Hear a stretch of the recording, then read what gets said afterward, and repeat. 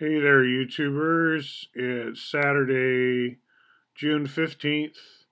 There's a rally downtown this morning uh, pro impeaching the U.S. Pres. And, um, you know, I could walk there and back and it would be good exercise. And I was invited to do that. And I like walking with people, but I was up a lot of the night listening to comedy. I was liking to. Uh, liking Gaffigan and a Iglesia guy. I'd actually heard him before about his trip to Saudi Arabia. He imitates, you know, Arab speaking and so on. He's a funny guy. And Gaffigan I've always liked. This is my friend David Koski playing with the Utragon concept and the ETUs here down the corner. Uh, Victor Schauberger, he was a big star of my last video. I was expressing my appreciation for him. Glenn says he designed a log flume where others had failed. You know, that's where the logs come down a channel really fast, and they were just like flipping out or whatever of the channel. And Schauberger, who understands fluid flows, comes along and Shazam, he's got one working. They call him a parascientist, I notice here. Now that's kind of interesting. I guess maybe because he was somewhat self taught. Um, I had on the screen when we started this morning the quote from Grunch of Giants that I go back to. Like, one reason I'm not really a big participant in some of the partisan politics that go on is I don't think political parties are such a great thing.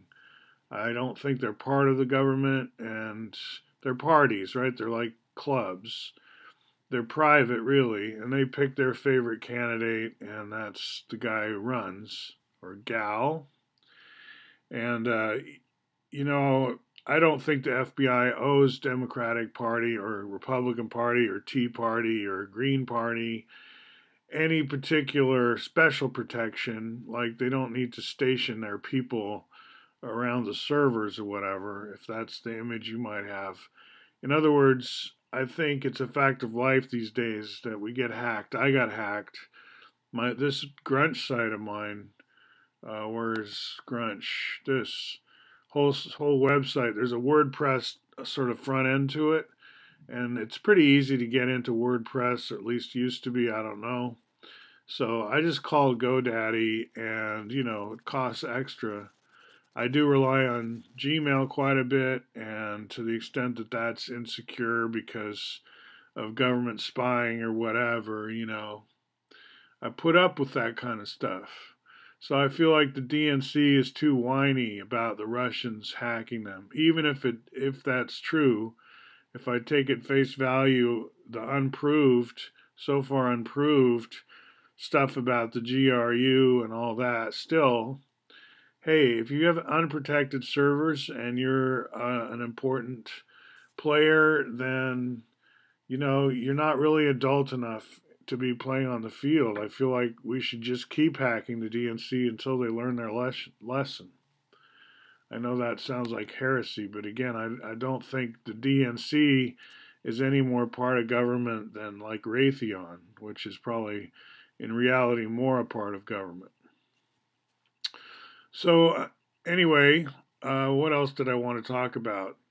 You've seen how I'm into planning for refugees to have a better lifestyle if they want it to the extent that they wish it and that would include like netflix type services because just because you're living in a tent somewhere doesn't mean you can't learn about stuff. The the key thing we have in our current culture that i have that a lot of us have is at least some time to use as we see fit right? That's kind of our our income is time we we get to use how we wish that's what the subgenius, I have a Bob Dobbs icon for a head on Facebook. And what's good about that religion is, first of all, it's a spoof religion. It's about, it's a spoof in the sense of let's not take ourselves too seriously. That's sometimes good advice, right? So it's it's great balancing religion. I wouldn't want subgenius to be the one and only religion for the whole world, but as a sort of silly subculture, silly in quotes, I have respect. Okay, this is hey, this is Glenn's apartment.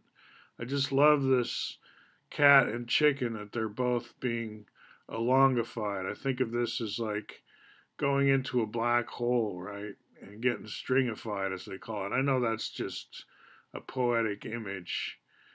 Uh, great, great collection he has. So, um, so I won't say I'm pro impeachment because I know it would just piss off everybody and keep the climate ugly for that to go far. In 2019, we're so close to 2020. But on the other hand, if I were going to impeach, it would be on the basis of the uh, cruise missile attack on Syria without any congressional approval, just knee jerk. Here's what we think happened. Here's what we think you want to think happened. It was very bad screenwriting, you know. And that particular chemical attack has unraveled ever since. Even at the time, it looked suspicious. And I think the Russians actually did a good job interviewing that little kid because he's in the movies with the fire hose and all that. Yeah, he was not a paid actor. He was an unwitting actor. He was taken in to that. Uh, well, you know the story. So that's how I see it. You know, I'm kind of an RT America watcher. I'm being programmed a certain way. I admit it. And I need to check my facts so I don't rely exclusively on any one source. I think that would be a bad idea. And that includes, you know, people like Pompeo, just because he thinks he knows something doesn't mean I agree with him. Because I've seen for a long time now that Washington, D.C. is a city that broadcasts lies and misinformation all the time. And I just get tired of it. I don't really want to hear from that city as much. So if you're from another city besides DC, I might be like all ears, more more than I am with that one, you know. I think they've had enough time in the sun and they've kind of botched it actually. So do I think that the US is bankrupt? I think that we should talk about it more just because Bucky did get a Medal of Freedom and to not ex- exchange his viewpoint as part of our heritage and education, as you heard from my previous rants, I don't think at the high school level you don't have the right to call yourself a public school if you censor out this much American history. You're some kind of faux, I call it the USSA, right? It's kind of a faux country. It's very phony. It's very not believable. And uh, that's why Bucky's watching the treasuries here. It's like when people around the world realize that a lot of other people are seeing that something is faux, F A U X, then, you know, well, I may, might want to get my money out. And I can see that, right? Anyway, good news. I got a letter from the IRS that they still want me to pay them $12. And I think that shows we're on the same page at least. You know, I was a little late late in paying it. I filed on time, but who's got money like that, right? I've got a dependent. Uh, like I, I see what Bucky's saying here that the USA was.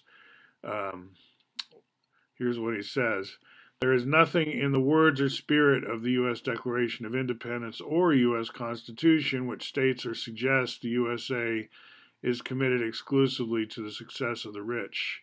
The USA we have known is now bankrupt and extinct. And I just search on that grunch, bankrupt and extinct. That's easy to do. So, do I not want a United States? I wouldn't say it's that simple. I have writings USA OS, operating system, OS for operating system, it's a lot of services. You can log in. You don't have to be in the United States to get the value of being a member citizen of the United States.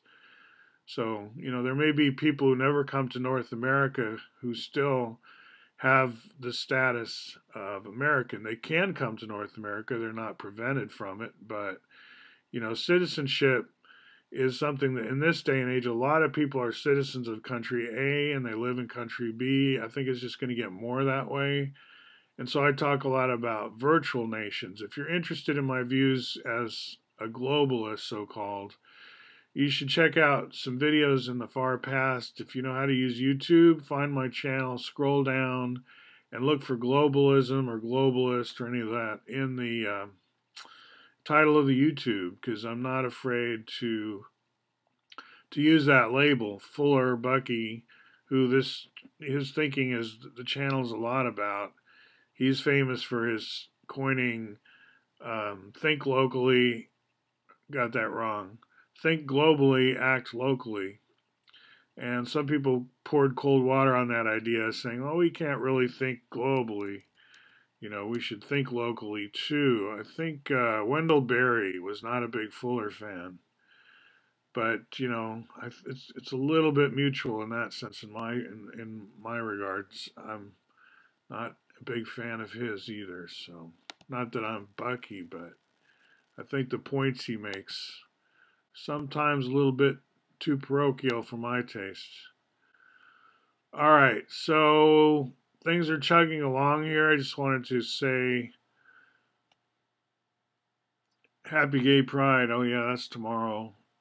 Leela's up here. She's going to go there, of course, and uh, has invited me to come down tomorrow downtown. I probably will. That's partly why I'm not going to the impeachment rally. I'm going to save my I need to work on my classes. What I mean by that is I've got to work on my content for the next week. As a teacher, I uh, take seriously my teaching job, and so I'm going over some of the stuff that I teach and trying to make it fun and entertaining for the students.